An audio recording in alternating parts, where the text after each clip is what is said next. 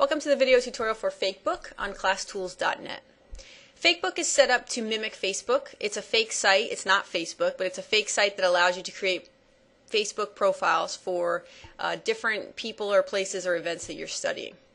So we're going to get started and we're going to build a Facebook page um, on Fakebook so you can kind of see how it works. One thing I want to just note to you right off the top as kind of a downside to this site is there are a lot of ads. Um, you'll see here at the up at the top there's ads and there's ads along this right column here. They don't go away unless you buy a premium account, unless you pay for the premium account, which I don't really suggest you do. Uh, but once you get used to this, the fact that they're there, you know, they kind of just blur into the background. Um, I've been on it a couple times here and there, logged on and off, and they're never inappropriate ads or anything like that. Most of them are for books or online learning or degrees, mostly educational in nature. So, um, anyway, just to put that out there as, as kind of a downside. So we're going to get started. Um, we're going to build a Fakebook page for Martin Luther King Jr. just to pick a well-known person so we can kind of see how this works. So the students would put the name of whoever they're going to build their Fakebook page for. Um, so we're doing Martin Luther King. And once they submit it, Fakebook will pull from Google Images without you even going to Google Images based on your the words that you put in. It'll it kind of has a smart technology there where it'll just find pretty much what you're looking for. It's not 100%, but every time I've tried it, it's pulled up the right picture. So what that does is cut down on the students surfing the web looking for the perfect picture. Now you can upload your own picture if you want to, but um, it kind of just cuts down on all that time that they're spending looking for pictures. And Fakebook will just pull pictures at work. So I put in my, my title, and then I'm going to edit my profile um, for Martin Luther King. Okay, so what I want to do, what the students would be doing is going and researching about Martin Luther King or whoever they picked and finding some information about them. So I've just pulled up Wikipedia. Um, I don't, they would probably have this information ahead of time, but I'm just going to copy his birthday. And when I go in here to click on the click edit profile, I'm going to put some information about him, just some general things here, and I've pasted in his birthday. Um, and you can kind of just, you know, have requirements of what's supposed to be in there. Um, for his occupation, I'm going to say he was a clergyman, activist, and prominent leader in the American rights, African American uh, civil rights movement. All right, and so that stuff is going to come up on his profile, and you can add, you know, as many facts in there as you want to, or as much information as you want to. All right, then Martin Luther King should also have some friends. So to add some friends, I'm going to put in people I know he would be friends with. And you can see how Fakebook is kind of searching it for you. So I typed in Rosa Parks and it automatically pulls up a picture of Rosa Parks. Now I could go find my own picture, but it just cuts down on the time that you need to go find stuff. And it just pulls it in right there for you. Okay, from my research, I would have other friends that I know uh, lived at the time of Martin Luther King, were in association with him uh, through different organizations and events. So I would add those names in. So I'm going to add um, a couple of his friends just to show you how this works. All right, and here's where you see that you know the students would be researching these people and finding the appropriate friends to add. You don't obviously want Martin Luther King friends with Oprah Winfrey. You know, that doesn't make sense historically. So you want them to be adding friends that are appropriate for the person that they're featuring, profile that they're. Okay, so once you have your friends in there, you're going to add a post. Um, you know, something that you would post on your Facebook page. So do that, you just click Add a Post. You can dump in um, videos from YouTube, or you can just write in a message, same as the real Facebook and you can change who the author is. So you can have um, the person whose profile page it is post on their page, but you can also have their friends post on their page, uh, just like Facebook works. So you're just going to put something in here that fits with the time frame that you're creating the profile page about or the person you're creating the profile page about.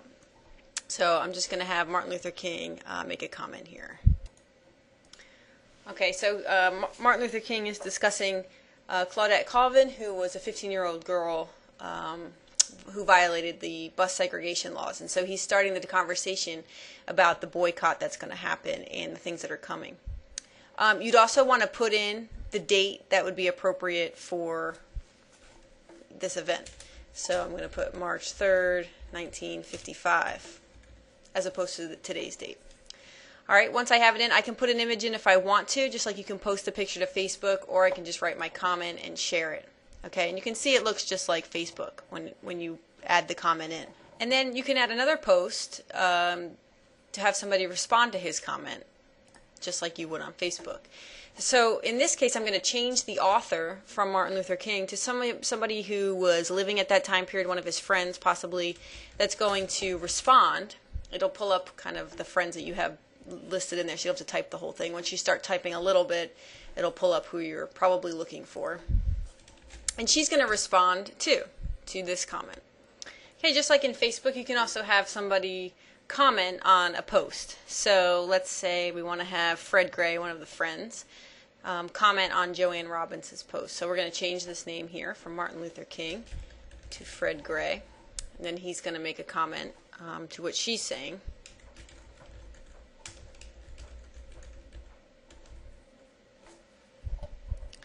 All right, and if you don't put a date, it looks like it's a they'll, they'll put earlier today or, or kind of a generic phrase. Um, so I'm just going to put the date and add comment. All right, and so you can start to build the conversation and the profile page to, to mimic what those people would have been discussing and addressing at that time period. It's actually pretty uh, pretty cool to watch this build. And you actually, the students really have to know a lot about the time period and about who would say what and how they would say it and what their take would be. So you can really kind of get them to delve into the different personalities of an event by trying to determine what they would comment and what how they would respond to something. So I'm just going to keep building this page out a little bit. I'm going to have uh, Joanne respond.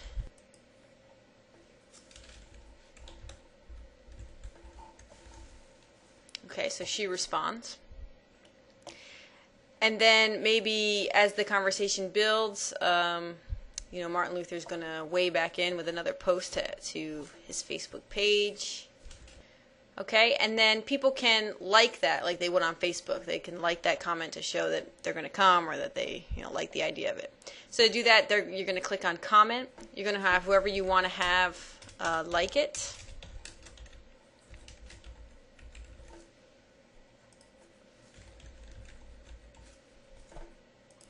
And to do that, you just type likes this into the box and add comment. And it's going to show up just like it does on Facebook with the thumbs up. If she didn't like it, it would do the thumbs down. So it really starts to look like Facebook, and the students start to create the historical context of a Facebook page of a certain time period. Okay, because this is um, an educational Facebook and not a real Facebook, you know, students might make a mistake here and there. Like, for example, um, this 18-year-old to talk about the 18-year-old Mary Louise Smith who was arrested. This really should actually be in December. So as I researched more, I realized I had the dates wrong. So if a student has that same situation, what they can do is go in and click on this little pencil bar and edit uh, whatever they typed in. So I'm actually going to make this December 1st. December 1st. Let me just check. Oh, October 21st. So I'm going to go in and actually change this to uh, October 21st, which is a more accurate description of when that happened. All right, and I'm going to change this one too.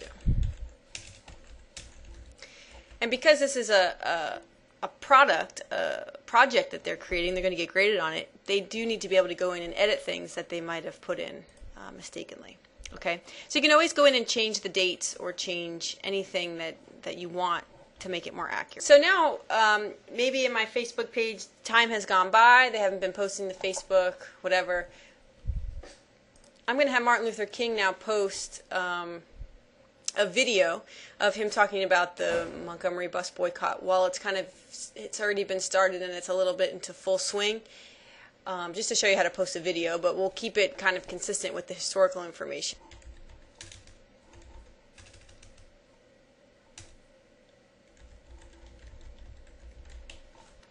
Okay, so I want him to also post a video of himself talking about the Montgomery bus boycott.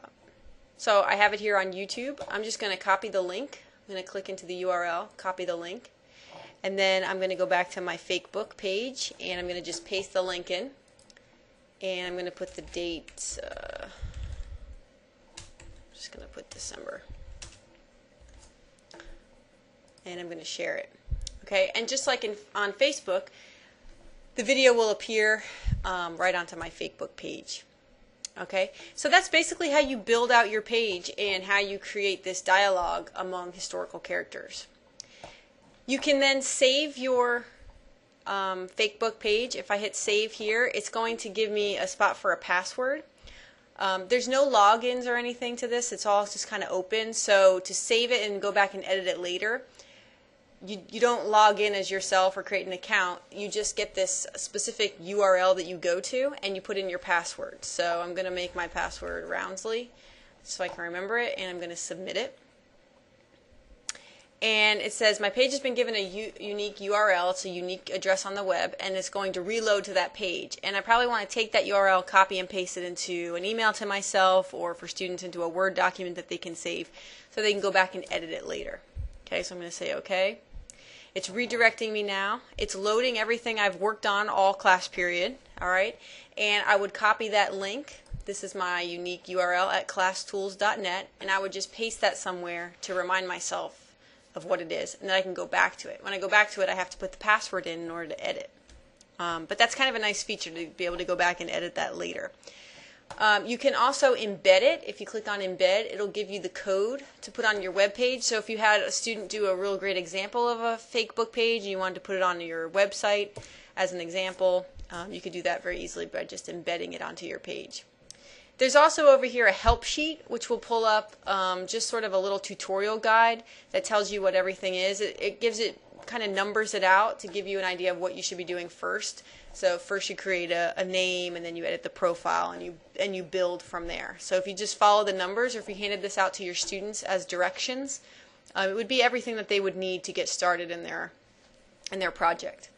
So the reason I really like this site is because um, creating a Facebook page is a really great way to assign something, assign to students a real life example of project, but you don't get bogged down in all of the design. It, it does it all for you. So really what they focus on is the content because they have to determine who the friends are and what the conversation would be, but they don't have to get bogged down in finding the pictures of the friends and um, creating videos or anything like that. It all just works just as easily as Facebook, which is why kids like Facebook because it's easy and it's fast and it's sort of an instant um, gratification type site. So Fakebook is a great way to assign a project. It's fun. It's um, high, I think you have to have some higher level thinking skills to actually create a, a Fakebook page that makes sense.